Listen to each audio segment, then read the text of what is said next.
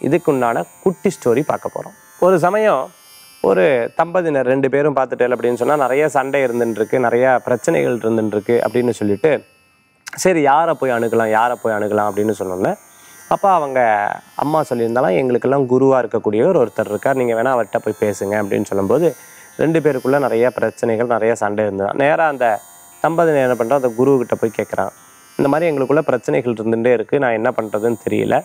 இவருடைய தொழிலையும் பிரச்சனை இந்த தொழில் பிரச்சனை வீட்டுக்குள்ளே வைக்கிறார். வீட்டுக்குள்ளே வச்சா வீட்டுக்குள்ளேயும் ப்ராப்ளம் ஆகுது. இதுக்கு என்ன பண்ணுறது அப்படின்னு கேட்கும்போது இந்த உலகத்தில் இருக்கிறது ரொம்ப கஷ்டமாக இருந்துருக்கு எந்த இடத்துல போனாலும் எனக்கு எதிர்ப்பு வினை எதிர் வினைகள் நிறையா வருது. நான் என்ன பண்ணுறது அப்படின்னு கேட்குறாராம்.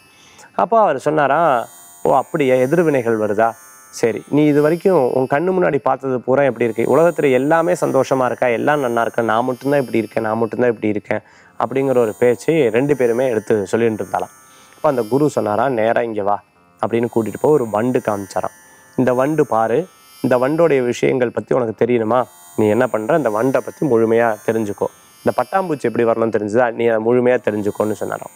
இப்போ பட்டாம்பூச்சி எங்கேருந்து வந்தது அப்படின்னு பார்க்கும்போது அந்த பட்டாம்பூச்சி எப்படி பட்டாம்பூச்சி ஆச்சுன்னு பார்க்கும்போது இவருக்கு ஒரே ஆச்சரியமா ஐயோ இதுக்கு இவ்வளோ முயற்சி இருந்து தான் இது பட்டாம்பூச்சி ஆயிருக்கே? அதே மாதிரி இன்னைக்கு பார்க்கக்கூடிய ரசிக்கக்கூடிய அந்த புஷ்பம் இருக்குது பார்த்தியா பூ. இது எப்படி வந்ததுன்னு பார்க்குறியா? அது வந்து ஃபஸ்ட்டு மொக்காக இருக்கும். அந்த மொக்குலேருந்து அது வெளிவரத்துக்கு அவ்வளவு அவ்வளவு அவ்வளவு அவ்வளவு முயற்சி இருந்தால் தான் அது வெளிவரும். அதே மாதிரி பார்த்துட்டுனா அந்த முயற்சி இல்லைன்னா அது இன்னும் மொக்காவே இருந்துட்டு இருக்கும்.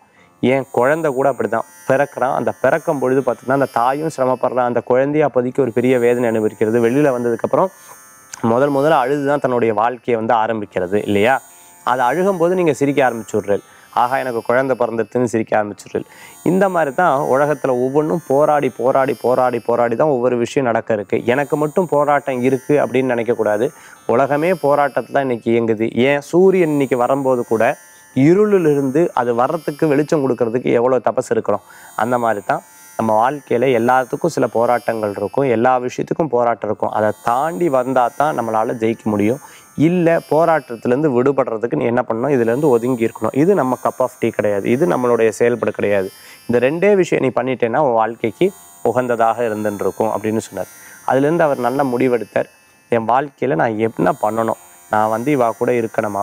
இல்லை இந்த தொழில் எனக்கு வேணுமா? இல்லை இவாட்டேருந்து தள்ளி இருக்கணுமான்ற முடிவு எடுக்கிறார். அவர் வாழ்க்கையில் பெரும் மாற்றங்கள் ஏற்படுறது. நல்ல பின்னாடி பேரும் மதிப்பும் கூடி வருது. இந்த மாதிரி மனிதர் வாழ்க்கையில் எத்தனையோ விஷயங்கள்ல எனக்கு மட்டும் ஏன் நடக்கிறது அப்படிங்கிற ஒரு போராட்டம் இருக்கும் பார்த்தீங்களா எனக்கு மட்டும் கிடையாது எல்லாத்துக்கும் நடக்கிறது.